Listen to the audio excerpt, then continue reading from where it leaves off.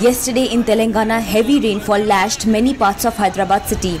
Roads and the low-lying areas are inundated with water after the downpour. Nalas in Vanasthalipuram and Kukatpally overflowed due to heavy rains.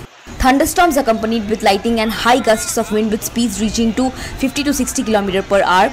Very likely at isolated places over Andaman and Nicobar Islands with lightning at isolated places over Odisha, Konkan, Goa, Madhya Pradesh, Marathwada, South Gujarat state, coastal Andhra Pradesh and Yanam, Telangana, Rayalaseema, interior Karnataka, Kerala and Mahe and Tamil Nadu, Puducherry and Karaikal. Squally weather with wind speed reaching 40 to 50 km per hour is very likely over East Central Arabian Sea, Andaman Sea and adjoining Southeast Bay of Bengal.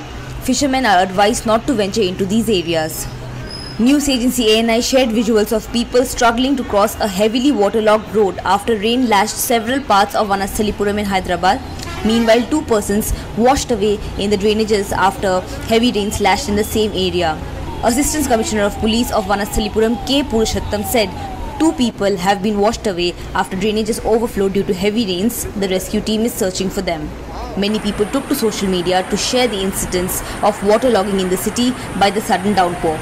Visuals of rainwater entering a restaurant in Old City of Hyderabad after incessant rains lashed Hyderabad are also shared by ANI.